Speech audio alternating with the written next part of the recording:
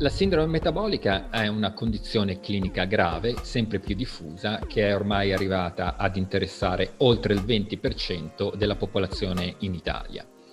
Essenzialmente eh, la sindrome consiste in una combinazione pericolosa di eh, alcuni disordini metabolici tra loro correlati, come l'obesità, l'intolleranza al glucosio, la dislipidemia e l'ipertensione.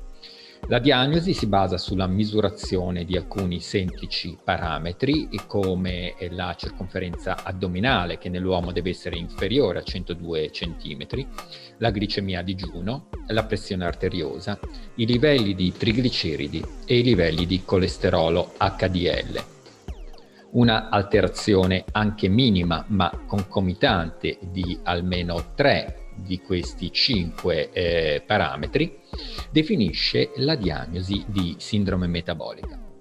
Siccome la sindrome non si manifesta con sintomi specifici e può interessare anche persone che riferiscono di essere in buona salute, è opportuno un controllo periodico e regolare di questi cinque parametri.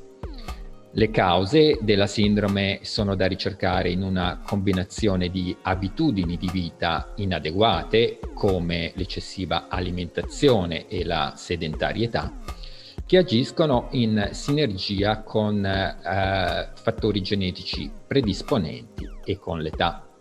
Protratte nel tempo, queste abitudini errate determinano un accumulo di grasso nell'addome, nei visceri, in particolare nel fegato, innescando così una eh, reazione infiammatoria cronica nell'organismo, definita infiammazione metabolica, che costituisce il terreno fertile per lo sviluppo della sindrome.